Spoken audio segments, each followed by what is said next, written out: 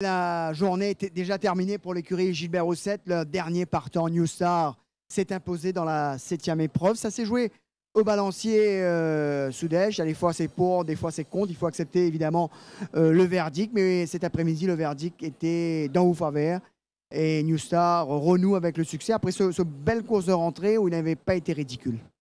Oui, moi, dans les courses, j'ai fait la seconde et Orgun. Et là, il peut descendre une catégorie et ils tiennent bon la ligne.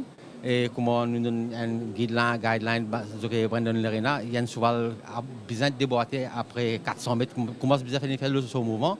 Et après, servi cravasse avec la main gauche. Et ce cheval-là, il répond dans la ligne droite. Et moi, bien. Euh, moi, je pensais qu'il moi pour faire la différence. Et au final, c'est nous qui fait la différence. Nous sommes bien satisfaits de la montre Lerena. Au trouvé un son finisher dans la ligne droite.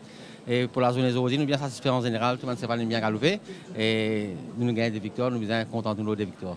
Alors, un peu déçu de la performance de, de Charles Litton euh, euh, Sudège. Peut-être qu'il manque sa, galop de course.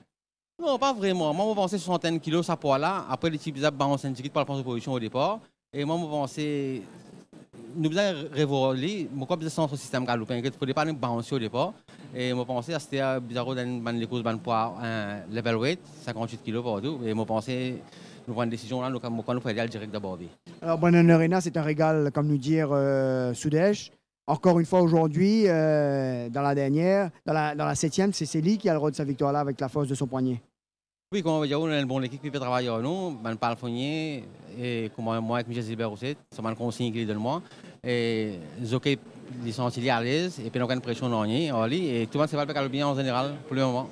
En tous les cas, félicitations pour justement ce, gros travail abattu, l'écurie Gilbert Rousset, qui reste euh, solidement accroché à son fauteuil de leader. Sur ce, on va retrouver Kavi pour les analyses de la dernière. C'est à vous.